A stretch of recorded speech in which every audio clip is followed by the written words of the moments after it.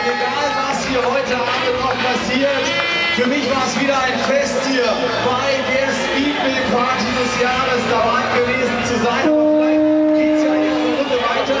Wenn nicht, dann sichert euch jetzt hier die letzten Tickets für die Europameisterschaft, für die Premiere mit den besten Fahrern. Es gibt jetzt eine riesen Party.